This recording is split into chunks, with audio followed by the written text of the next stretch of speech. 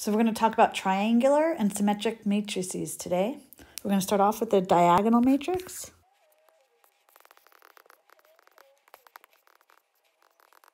So pretty much, so pretty much the diagonal matrix only has entries in the diagonal.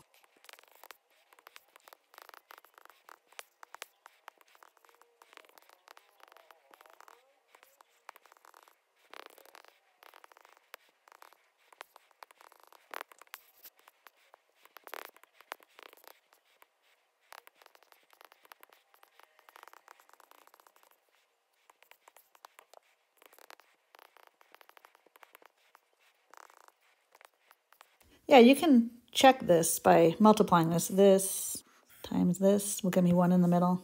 This times this will get me the one here.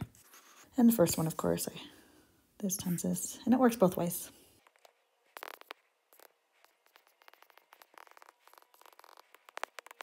So different example.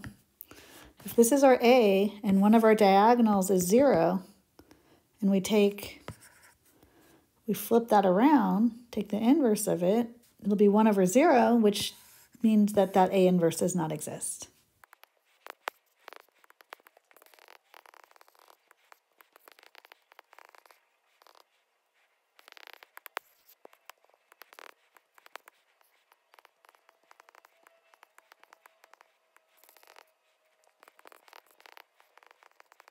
So we can see 142, 142, 493, 493, 23 pi, 23 pi. So we take the transpose and we get the same back. But I also highlighted here what it, symmetric means. It's symmetric across the diagonal.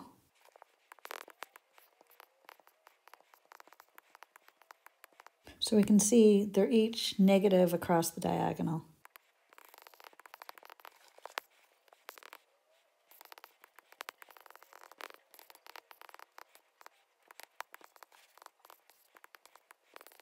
So what we have here, we started off with AB to the power of T, quantity. We work it backwards, and this is symmetric, so it's B. This is symmetric, so it's A. But we know BA doesn't equal to AB. So when you're looking at these, AB to the power of T, it doesn't necessarily equal to AB. We don't know. So the product of the symmetric matrices are not necessarily symmetric.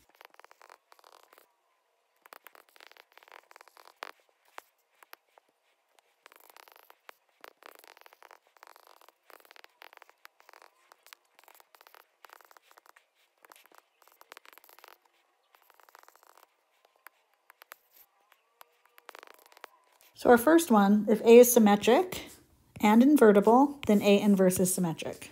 So we need to prove, we want to prove A inverse is symmetric. If it's symmetric, then the transpose is equal to the matrix. So we're going to start with the left-hand side. And if you remember, we proved last week that these can be swapped. And we do know A is symmetric. We haven't used that. If A is symmetric, that AT turns to A, but that minus 1 is still there, and that, we don't need the parentheses there. And that is my right-hand side. I'm only going to prove this one. It's very similar going this way. You can practice it at home. So there's two things we need to prove. Let's work on the first one. They're square and they're symmetric. That's given.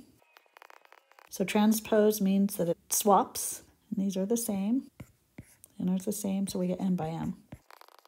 So that's a square matrix. Okay, so the next one's symmetric. So to prove symmetric, we want to prove, so again, we're using this one.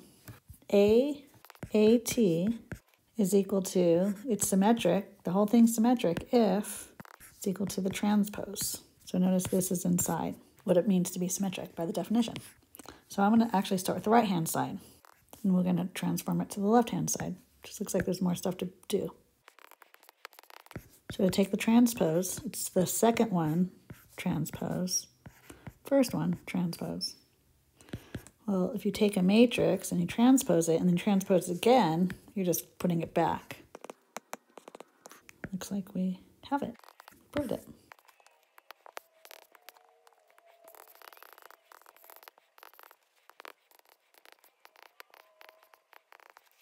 You guys remember what singular means? The way I remember it, there's singular versus non-singular. Again, my little mnemonic device here, non-zero versus zero, meaning a row of zeros. Singular has a row of zeros. Non-singular is one solution. This is many solutions. Infinite. Well, in order to have infinite solutions, you have to have a row of zeros in a three by three. So let's look at our first one. What can x be to get a row of zeros there? Plug in x equals a half, you get a zero there.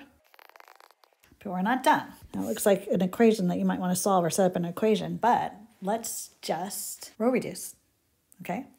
So let's follow the algorithm.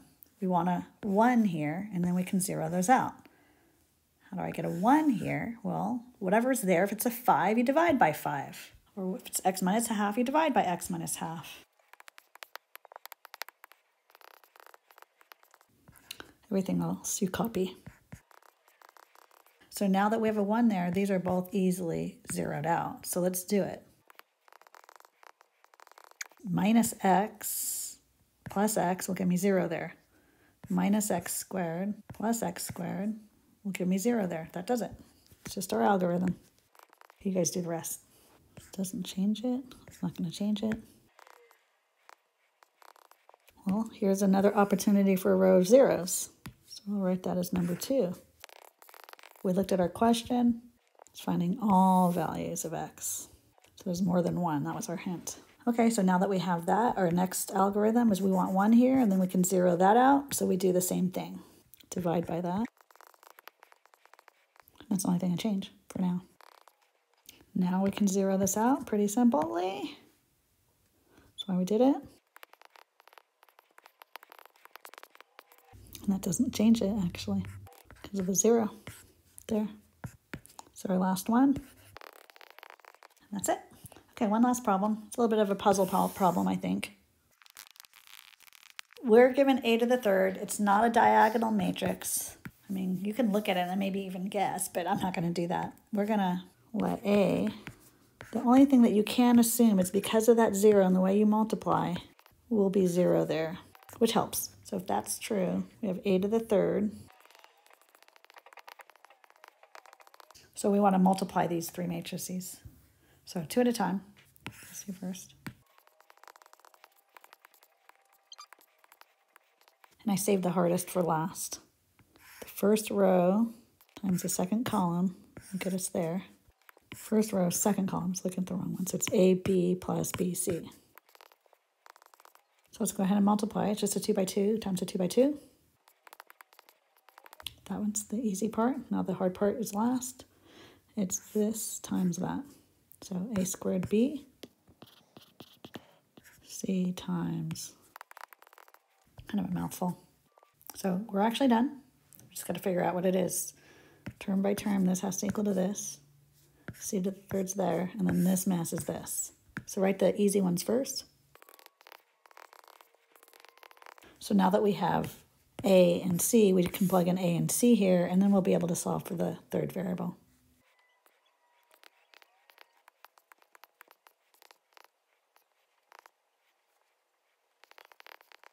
Yep, so B is 10.